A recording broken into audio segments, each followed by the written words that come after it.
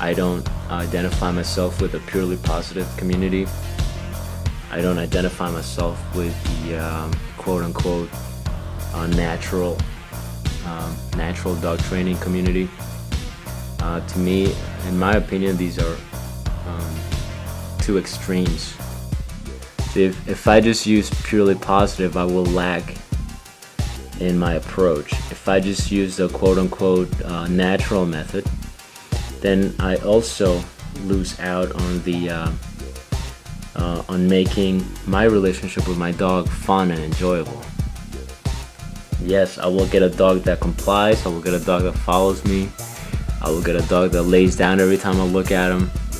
But I don't want that. I want a dog that's happy to be with me. A dog that's just uh, thrilled to follow me whenever I tell him to follow me.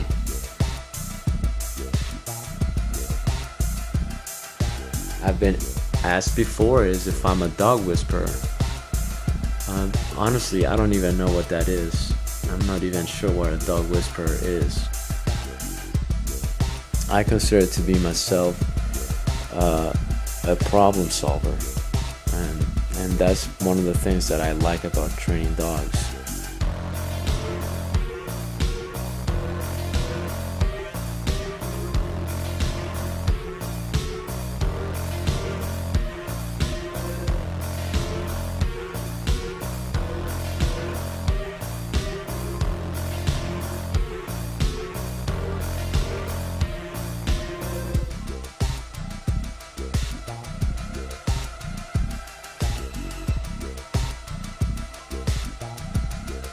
As far as what methods I use, I use everything, everything there is to use.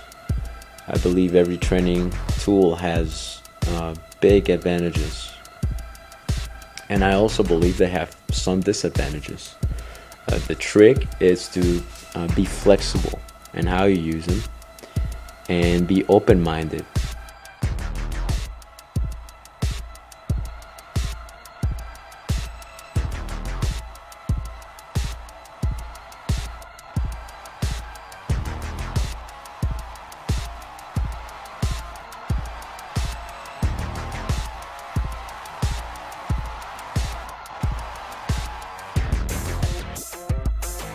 a lot of times, um, you know, with all these training tools, people, uh, I think throughout history, people like to condemn and and uh, judge and just demonize what they don't understand.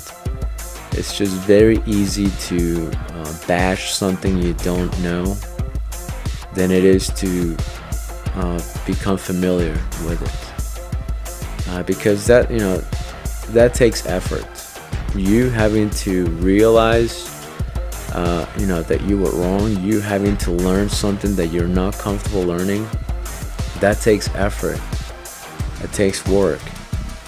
And in a way you have to be willing to tell yourself that you were wrong about your previous uh, your previous uh, misconceptions your previous uh, belief. And i believe that's that's the hardest part be able to open your mind and be able to admit to yourself, you know, I was wrong. Uh, maybe maybe I was not right when it came to this.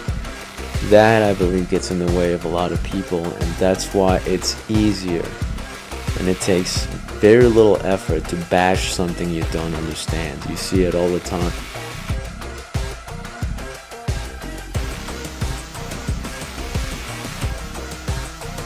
I want my dogs to believe that they are in control of their consequences. I want them to think that I am the good guy, that I am the neutral good guy, and I'm just as helpless as they are when it comes to the consequences that they receive. If they uh, obey and if they behave and they act politely, then I'm going to be their best friend. I'm going to give them a lot of rewards um, I'm gonna give him praise every single time. And from time to time I will give him a huge huge jackpot. And I will make sure that they really really enjoy uh, the obedience. However, if they try to bypass the system, if they try to disobey, or if they do something highly inappropriate, then my job as the vending machine will be to deliver some uncomfortable uh, consequences. If I had no financial obligations, uh, I would still train dogs. If uh, if I could get away with training dogs free for free, I would definitely do it.